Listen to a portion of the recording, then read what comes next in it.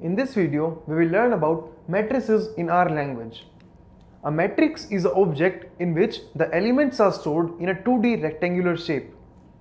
A matrix can only have homogeneous values, that is, the values inside a matrix will always be of same data type.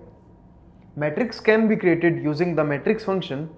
This is an example of a matrix. The basic syntax of a matrix is first we write the matrix function, inside that First, we write the data. After that, the n row is used to denote the number of rows. For example, in this matrix, we have three rows, first row, second row and third row. After that, the n column is used to represent the number of columns that is first column, second column and third column. After that, by row is a boolean value inside which we can write true or false. That means whether we want the values to be assigned by row or by column. Finally, DIM names is used to give the dimension names. For example, this is a one dimension and this is the second dimension. So we can give names to our dimension. Now we'll practically see how we can implement matrices in R. In the first line, we have created a matrix with the name P. We have used matrix function to create the matrix and the values inside this matrix will be from 3 to 14. The number of rows will be 4 and this will be aligned by rows because by row is true. Now we'll try to print our matrix and create this. So the values inside this matrix are 3, 4, 5 from 3 to 14. This is aligned by row.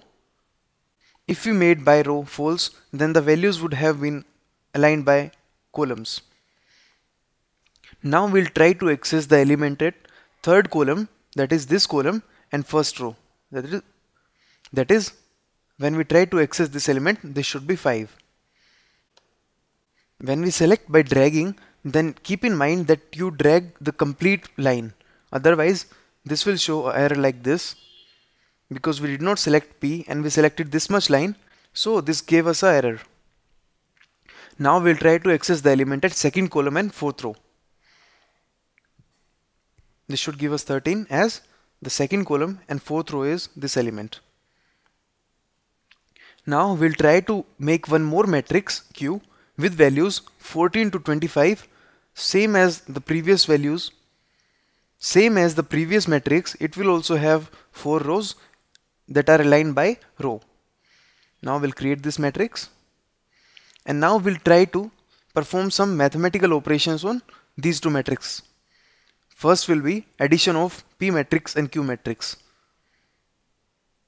This should give us the sum of first matrix and the second matrix.